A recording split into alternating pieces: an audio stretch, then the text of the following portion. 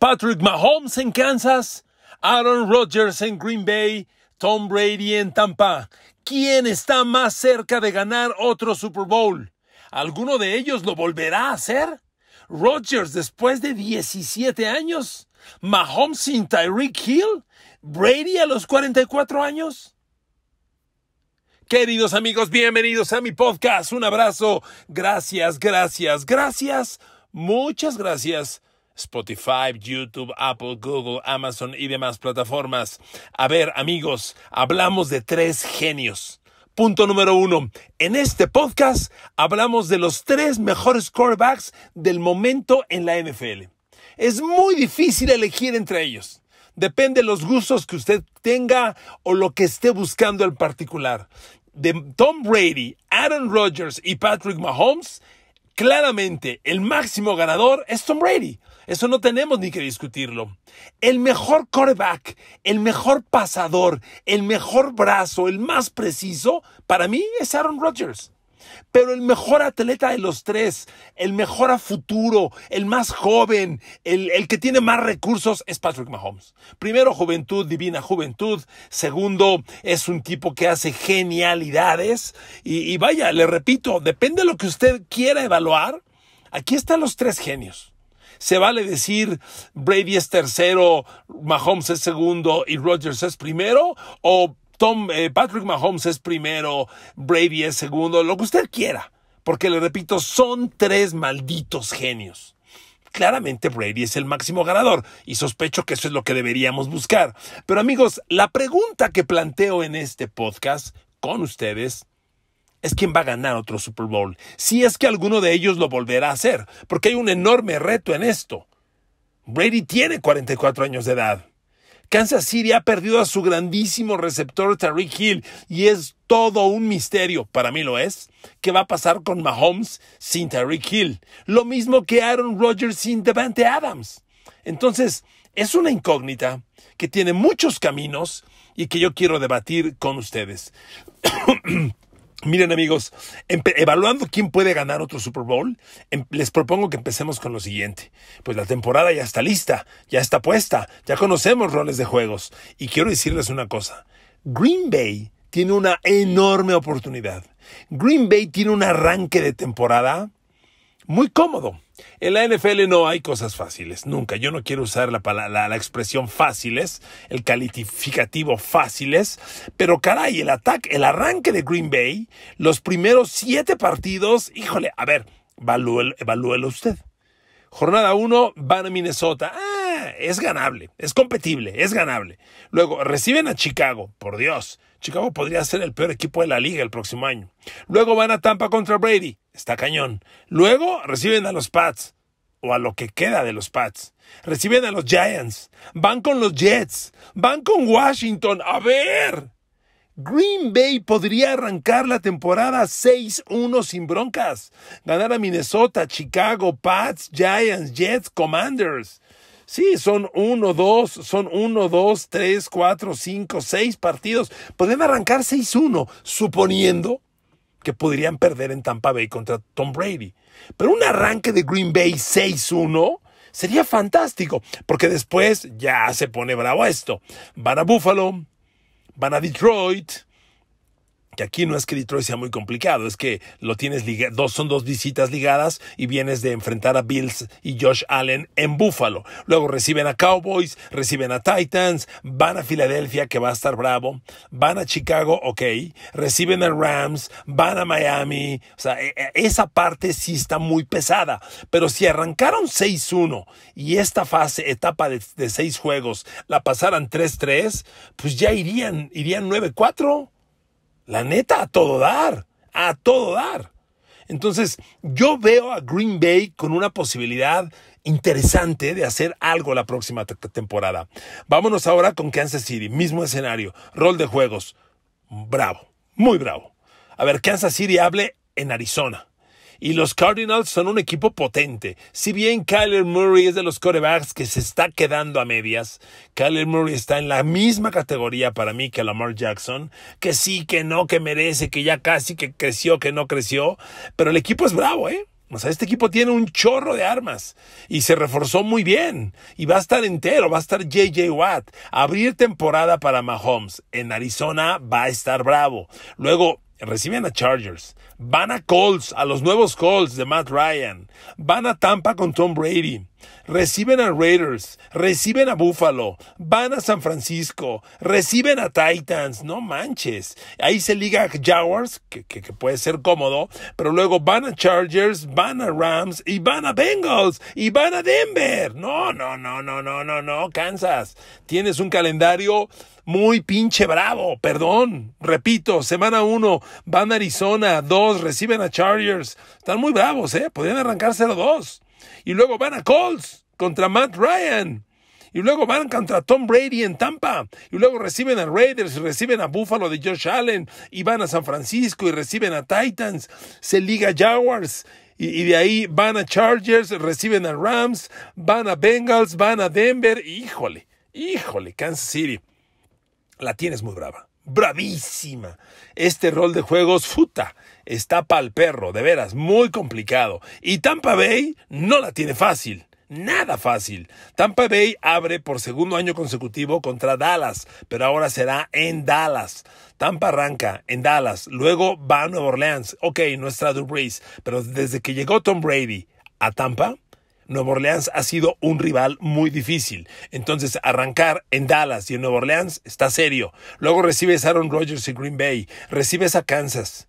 Recibes a Atlanta, de acuerdo, Atlanta es cómodo. Luego vas a Pittsburgh, vas a Carolina, ok, Carolina es cómodo. Recibes a Ravens, recibes a Rams. Híjole, o sea, de esos primeros juegos, de estos nueve, uno, dos, tres, cuatro, cinco, seis, siete, ocho, nueve, de los primeros nueve juegos, siete están bravísimos, bravísimos. Seis. Si, si reconozco que Nueva Orleans, repito, se le ha complicado a Brady desde que llegó a Tampa pero no está Drew Brees. Seis de arranque muy bravos. Pero bueno, así es la NFL. Ya leímos el arranque de los tres equipos. Green Bay lo tiene muy cómodo. Si Green Bay arranca bien, cosas importantes pueden ocurrir. Miren, si Green Bay arranca 6-1, que está muy a su alcance, no estoy alucinando, que está muy a su alcance, pueden ocurrir cosas mágicas. Ya le decía, de los siete juegos de arranque, seis son ganables, pero ganables. De los siguientes seis, están bien bravos, pero que se vaya 3 y 3. Si Green Bay arranca 6-1 los primeros siete y 3-3 los segundos seis, va a tener marca de 9-4 después de 13 juegos. Está, está, fabuloso, fabuloso, sinceramente fabuloso. Y el cierre de temporada parece no ser tan bravo. Porque después de visitar a Bears y recibir a Rams, o sea, visita a Bears, lo tiene que ganar. Recibe a Rams Green Bay, Green Bay recibe a Rams, es difícil, pero fíjense cómo cierra. Va a Miami, recibe a Vikings y recibe a Detroit. O sea, los últimos tres juegos son otra vez muy ganables. Si Green Bay arranca 6-1, híjole, Señor Rogers, cosas mágicas pueden ocurrir. Ahora quiero recordarles una cosa. Go Pack Go. El único Super Bowl al que llegó Green Bay y Aaron Rodgers fue el Super Bowl 40. Vamos para el 57. ¿Eh? Son 18 años. 18 años sin llegar al Super Bowl. No me jodas. Es muchísimo tiempo pues ya rivalizando con Dallas. Entonces está complicado. Y luego, ahora vámonos al, análisis más importante de esto. ¿Qué equipo tienen? El problema de Green Bay y el gran problema de Kansas City, los dos, es que son dos equipos que han perdido a un arma irreemplazable. Que Green Bay encuentre el nuevo Devante Adams es posible. Este año no es posible. Que Kansas City encuentre el próximo Tariq Hill es probable. Que lo encuentre este primer año es improbable. Entonces, eso limita mucho el potencial. Ahora, son dos escenarios diferentes. Si bien Packers y Rodgers perdieron a Devante Adams, Mahomes y Chiefs perdieron a Tariq Hill, Green Bay, y ya se los he dicho en otros podcasts, Green Bay tiene la mejor defensiva que yo le haya visto a Packers en mucho tiempo en un chorro de años. Green Bay, se los dije ya así y lo reitero, Green Bay este año va a ser un equipo orientado a la defensiva. Green Bay puede ganar con la defensa y tiene una defensa puta muy pinche brava, bravísima los Packers, bravísima. Nadie habla del gar medio Kenny Clark. Rivaliza con Aaron Donald, vaya, Donald es el mejor, pero se acerca Aaron Donald y compite con Jeffrey Simmons de Tennessee como los mejores tackles defensivos interiores. Kenny Clark es un super jugador, gar medio de los Packers. Están Preston Smith y el talentazo de Rayshon Gary como linebackers exteriores. Davondre Campbell se quema, se queda, se quedó y pocas parejas son tan talentosas como Jerry Alexander y Eric Stoke de corners y agreguen a Rasul Douglas como corner slot. Este trío de corners se mete a las, híjole, ya muy jodido, a, las cinco, a los cinco mejores grupos de corners de la NFL. Jodido, pero muy jodido, ¿eh? Podría ser top three. Y pelea por ser el mejor, de veras, pelea. Pelea con JC Jackson y Asante Samuel de los Chargers, con Kyle Eman, Kyle Elam y Tredavious White de los Bills. O sea, rivaliza con esos grandes grupos de corners de la liga el que tiene Packers. Entonces, Packers va a tener una gran defensa. Y si la defensa empieza a dominar juegos, Aaron Rodgers puede ganar con 25 a 30 puntos por partido. Que Aaron Rodgers no tenga una tanque de 30 a 35 puntos por juego es muy probable. Yo casi casi lo daría por hecho. Pero si Rodgers y los Packers generan de 25 a 30 puntos por juego y su defensa, como aparenta, empieza a dominar, estos Packers se pueden ir lejos. Lejos, de verdad.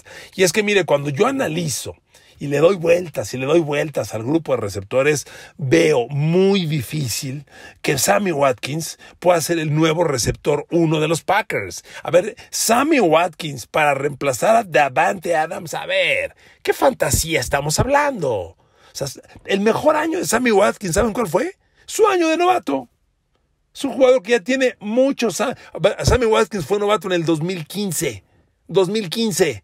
Va a jugar su octava temporada que este año tenga su mejor campaña, por Dios. Entonces, Sammy Watkins reemplazando a Davante Adams es poco probable. Ellos apuestan mucho por Allen Lazar. Lo poco que Allen Lazar hacía, lo lograba en el campo con Davante Adams del otro lado y la defensa pensando en Davante Adams. Ahora que Davante Adams no está, Allen Lazar, yo creo que va a ser un cero a la izquierda. Y Randall Cobb, aunque sea muy cuate de Aaron Rodgers, ya no le queda mucho en el tanque, casi nada. Apuestan mucho por el novato Christian Watson. Vamos a ver, físicamente, Christian Watson es un freak, ¿eh? es un talentazazazo atléticamente, el físico, el tamaño, la velocidad, menos de 4.40 en las 40 yardas, receptor de 1.90, o sea, fantástico, pero tiene historial de muchos drops, de pases que le pegan en las manos y los tira, y viene de una ofensiva eminentemente corredora, que fue la su ofensiva de colegial en North Dakota. Entonces, Pensar que un receptor de una ofensiva corredora colegial llegue a la NFL y como novato reemplace a Davante Adams, por favor. A ver, qué maldita fantasía se están haciendo los que dicen esto. No me jodan. Punto menos que imposible. Pero, como yo le decía, hay caminos. ¿Qué tal si Aaron Rodgers y los Packers de pronto adaptan su ofensiva a una ofensiva aérea de control de balón, de pases cortos, como le llamaban la West Coast Offense, una ofensiva que te movía el balón de 5 a 10 yardas por, por pase y, y, movía las caderas consistentemente, que usaba mucho al corredor como receptor. Aaron Jones, el corredor de los Packers, es de los mejores corredores receptores en la liga. Y si, y si regresa Robert Tonian, el cerrado de Packers, al 100%, si es el Robert Tonian que fue antes de romperse el ligamento cruzado anterior, y Aaron Jones se convierte en un corredor sumamente buscado como receptor, uh, se empiezan a abrir caminos, se empiezan a abrir caminos. Entonces le digo, aquí el arranque, la gran oportunidad de Green Bay es que el arranque de temporada está cómodo. Está muy ganable. Que Green Bay arranque 6-1 esa no es fantasía. Esa es una alta probabilidad. Y Aaron Rodgers lo sabe. El coach LeFleur lo saben. No lo pueden desaprovechar. Si alguien necesita un arranque intenso en la próxima temporada, son los Packers. Vamos a ver si los logran. Ahí está la oportunidad. Kansas City. Kansas City, como ya le decía, tiene un arranque de temporada, puta, bravísimo. Yo, honestamente, estoy muy escéptico del ataque aéreo de Kansas. Veo con mucha facilidad a mucha gente que dice que van a reemplazar muy bien a Terry Hill y que Kansas City puede llegar al Super Bowl. A mí eso se me hace locura. O sea, Kansas City en el Super Bowl, por encima de Denver, de los Raiders, por encima de, de, de Josh Allen, de Joe Burrow y los Bengals. A ver, a ver, a ver. ¿Quién maldito loco opina eso? No lo veo probable, claro que no. Pero está el genio Patrick Mahomes. Ya les dije, atléticamente, por juventud, por potencia de brazo, por talento, de este trío, Mahomes podría ser el mejor coreback por la proyección que tiene. Y Mahomes es un jugador, además, un tipo muy inteligente. Miren, no les voy a decir que lo traté mucho, pero en los Super Bowls yo estuve de cerca con él, lo entrevisté todos los días, lo escuché. Me, causó lo mismo Joe Burrow el pasado Super Bowl. Patrick Mahomes es un cuate muy inteligente. Yo soy de las personas que cree que cuando alguien habla, se desnuda. Desnuda su intelecto, desnuda su personalidad, desnuda su todo. Y transmite quién es.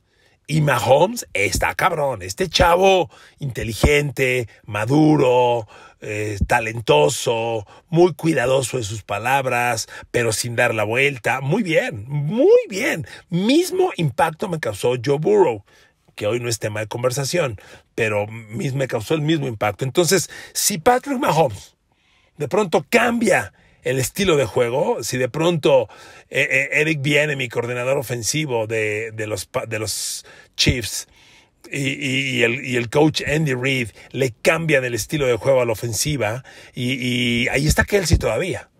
Es que yo leo el backfield y receptores de los Chiefs y la neta a mí no me espantan.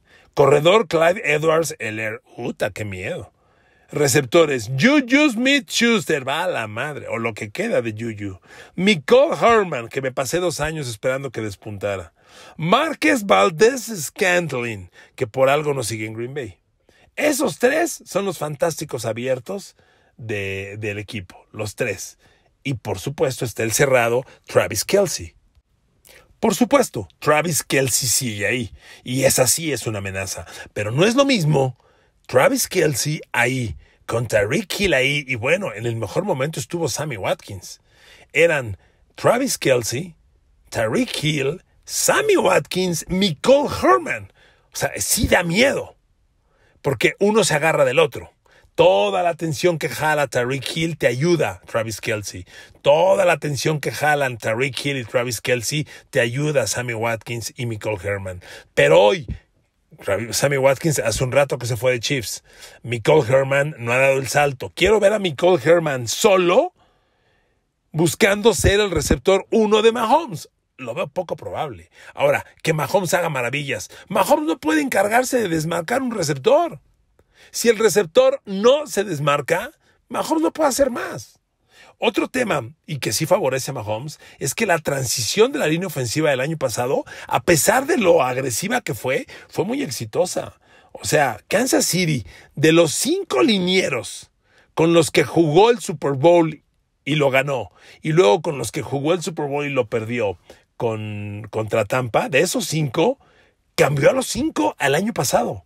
Y con todo y todo, los resultados fueron muy aceptables. Este segundo año, cuando ya la línea ofensiva se conoce y tiene química, el lado izquierdo con Orlando Brown y Joe Thuney se ve poderoso. El jovencito Creed Humphrey fue novato la temporada pasada y el chavo cumplió con creces. El lado derecho es el menos potente, pero ahí está el tackle Andrew Wiley, que le confían mucho en el equipo, y el guard derecho Trey Smith, jovencito. Amigos, esta línea ofensiva hizo la transición y es confiable, pero yo no veo ni potencia terrestre, ni van a espantar a nadie por tierra con estos corredores, empezando por Clyde Edwards Seller, y los receptores no pasa nada. Por eso, honestamente, a Kansas City no se la compro. Miren, a pesar, reitero, porque lo he leído, muchos analistas ponen a Kansas, incluso volviendo al Super Bowl, yo no. Respondiendo a la pregunta de este podcast, de los tres equipos, fíjese lo que le voy a decir. Yo le doy más chance de volver al Super Bowl a Green Bay que a Kansas City. Porque ya le dije a Kansas todo lo complicado que tiene el arranque de temporada. Complicadísimo. Lo, repito con mucho gusto. Kansas City arranca temporada en Arizona. Recibe a Chargers. Va a Colts de Matt Ryan. Va a Tampa de Tom Brady. Recibe a Derek Carr y Raiders. Luego recibe a Josh Allen y Bills. Va a San Francisco. Recibe a Titans suavecito contra Jacksonville y luego va a Chargers, va a Rams, perdón, va Chargers, recibe a Rams, va a Bengals, va a Denver, no chingue, está pesadísimo, pesadísimo el rol de juegos de Kansas. No, amigos, yo, respondiendo a mi pregunta, yo no voy a Kansas ni cerca regresando al Super Bowl. Y si a esto que hemos analizado le agrega usted que Russell Wilson está en Denver, que Derek Carr tiene a Davante Adams a su lado, eh, que Joe Burrow está más fuerte que nunca, que ya le pusieron la línea ofensiva que le faltaba, no, no, no, no, no. Que Kansas vuelva al Super Bowl, no, no, no. Y cierro con Tampa Bay. Miren, Tampa Bay, la bronca que tiene, ya la mencioné, es que sí está también bravísimo el arranque de temporada. Lo voy a reiterar, van a Dallas, van a Nueva Orleans, recibe a Packers, recibe a Chiefs, va a Atlanta. Si usted quiere de los cinco primeros, pensemos que pueda ganarle a Saints y que le pueda, que le, que le pueda ganar a, a Atlanta, sin duda. Entonces, Tampa Bay podría arrancar la temporada 4-1, ya muy jodido 3-2, no, 4-1. Pero luego va a Pittsburgh, va a Atlanta con Cedo, Baltimore, Rams, Browns, 49ers, Bengals, Cardinals otra vez. Híjole, o sea, sí está bravo el rol de juegos. No está tan pesado como el de Kansas, pero está bravo. Ahora, aquí está Brady. Y aquí el gran reto para Tom Brady es hacer dos transiciones fundamentales. La transición no Antonio Brown y la transición no Rob Gronkowski. Y esas están cañonas. O sea, ya confirmó Gronkowski que se retira y Gronkowski no vuelve, ¿eh? Hay quien dice, eh, va a volver, ya volvió una vez. Estoy de acuerdo. Yo digo que no. Yo digo que no vuelve. Reemplazar a Antonio Brown ya lo hemos hablado. Ellos van a que Russell Gage, ex de Atlanta, lo va a reemplazar. O ahí está Cyril Grayson, Cirilo Grayson, que lució interesante la temporada anterior. Pues no lucen mal, pero garantizar que lo reemplacen, híjole, no se ve fácil, no se ve nada sencillo. Esta NFL, amigos, es una liga que te cobra todo, ¿eh? No es nada fácil. Brady tiene los 44 años de edad y solo porque es Brady, yo nunca iría contra Tom Brady, le concedo el talento. Además, Brady, si algo ha hecho toda su carrera, es adaptarse a sus cambios generacionales. Algún día dependió de Julian Edelman. Ya ganó Super Bowl sin Edelman. Ganó Super Bowl sin Gronkowski. Que ahora lo gane sin ellos, ¿quién va a decir que no? Si ya lo logró. Amigos, interesantísimo estos tres genios. La neta, me disculpan, si alguien puede volver a ganar un Super Bowl, es el coreback de Tampa Bay. Les mando un abrazo, los quiero mucho y les agradezco el favor de su atención. Que Dios los bendiga, las bendiga y los bendiga. Abrazo.